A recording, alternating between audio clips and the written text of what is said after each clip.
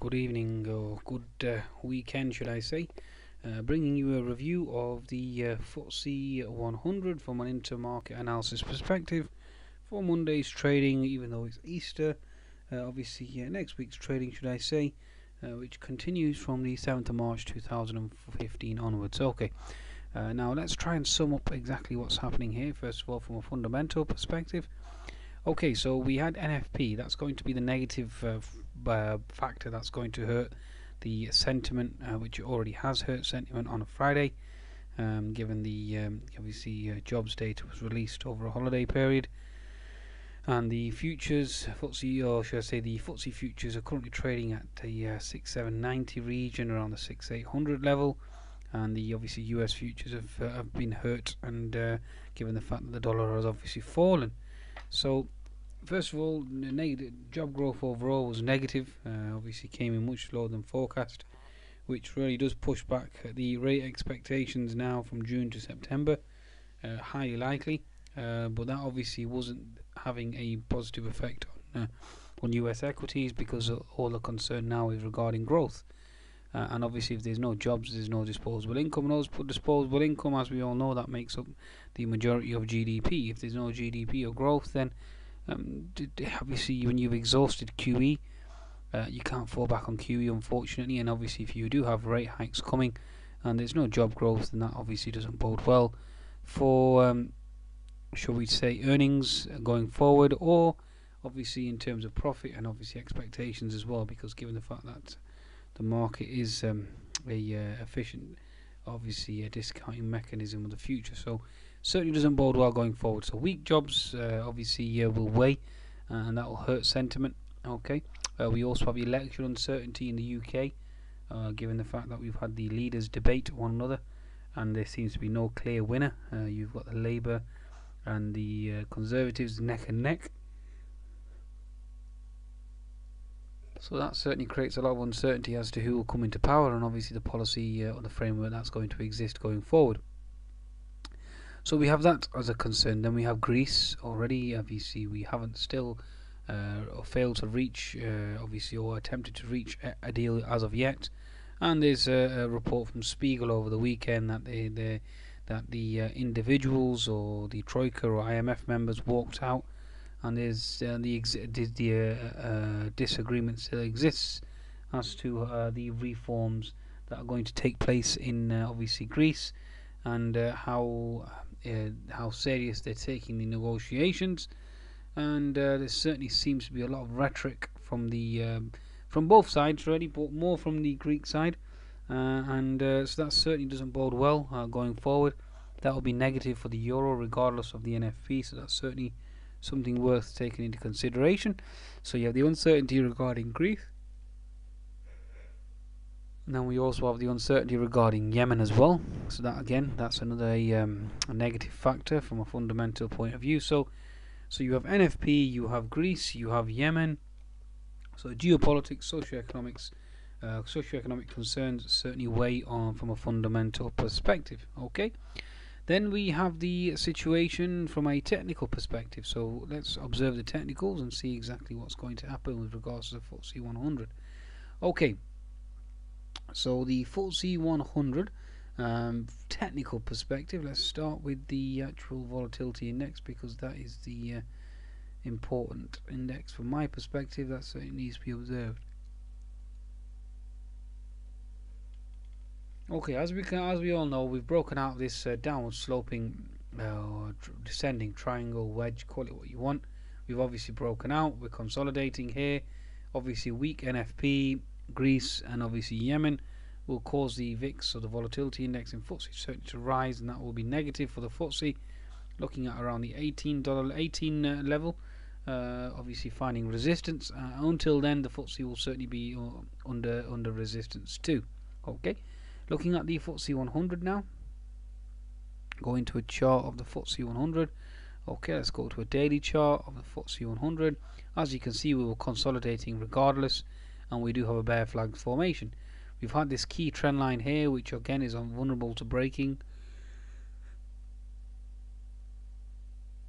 And the next support level will be at 6760, 6750. Once we break that, then you have 200 MA. So I certainly see the 200 MA coming back into the equation, and obviously horizontal support holding, and obviously this this um, expanding triangle or expanding uh, wedge, okay, or symmetrical wedge. Call it what you want. Basically, it's uh, it's basically a broadening wedge, should we say, uh, pattern that generally is indicates uh, uncertainty and potential bearish price action. Okay, so going forward, given the fact that U.S. markets have broken out their key diagonal uh, rising trend lines, then I expect the FTSE 100 to certainly break as well on the downside.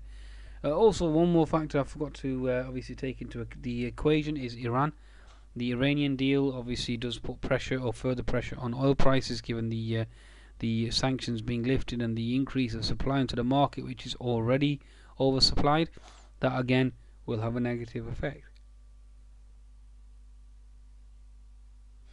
Okay, so that certainly is bearish going forward. Okay, so you're looking at six, seven, uh, six, seven hundred, potentially even lower, six, six, six, five, six, six, seven, five. Sorry, as potential support on the downside in the FTSE 100 on a daily chart. Let's have a look at the FTSE 250 or even the All Share Index. If I go to the All Share, FTSE All Share, again same pattern with this key diagonal trend line which will be broken, and the fundamental reason for it breaking is I've already explained, especially with the NFP, that certainly is the nail in the coffin.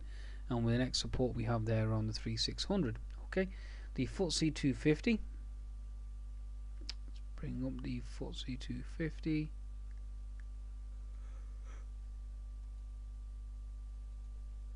Again, the FTSE 250. Obviously, we've had this bounce. Uh, it's a meager bounce, and we are looking for a potential reversal, especially given the fact that uh, sterling has uh, uh, obviously uh, potentially put in a bottom now, given the fact that NFP was so weak.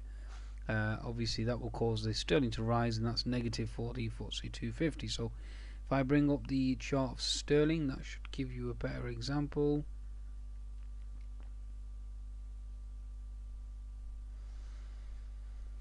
Bear with me. Okay, so I've not added actually added in the currency, so bear with me. Need to add the currency back in again.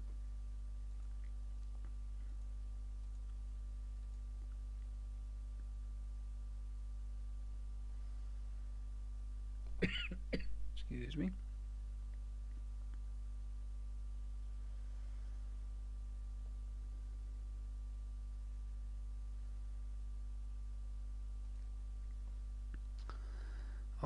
Okie dokie, right, there we go.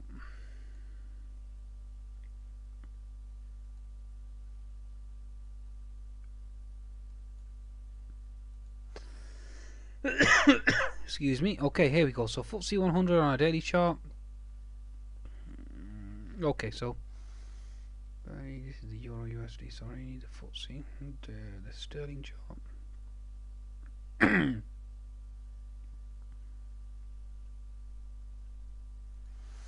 Okay, so here we go.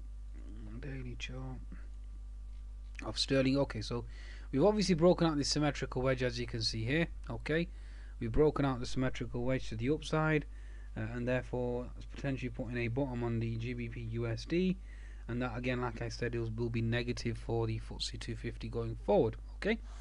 So the FTSE 250, FTSE All Share daily charts are all indicating bearish price action. Okay. Let's go to a smaller time frame now, on the 60 minutes. Okay, 60 minutes, we've had this inverted head and shoulders formation that was potentially in play, and obviously this scenario now is, is turned bearish, and therefore we're looking for a potential move lower. Okay, that's basically what I expect to occur. Okay. Uh, the next chart we're looking at is a 10 minute chart. As you can see here, we've held the horizontal resistance And the next level of support will be 6800. Well, was supposed to be 6800, but the futures obviously are lower than that. So therefore, the next support level now is at the 6760 region. So once the 6760 region unfortunately gives way, then the next level below that is 6700 and potentially even lower. Hence the reason why the NFP data, along with Yemen, along with Greece, and the Iranian uh, oversupply on a on an oil market that's already oversupplied, will all bear a bit have a negative bias uh, in terms of sentiment and in, in, terms of momentum and money flow on the FTSE 100. Now, the only thing that's going for the FTSE 100 from a from a, a, bullish perspective is the chart of the US dollar. Now, the US dollar is potentially putting in a well, it has put in a confirmed top, but the dollar index will certainly help commodities to a large extent. But given the fact that the weaker data uh, and the weaker growth will certainly weigh on the FTSE 100, and obviously given intermarket analysis, if the S&P and the US markets and European markets are weak, then obviously it will have it will certainly weigh on the FTSE 100 in terms of the uh, bearish uh, price action below. Okay, folks. So risk on, risk off, wax on, wax off. Goodbye.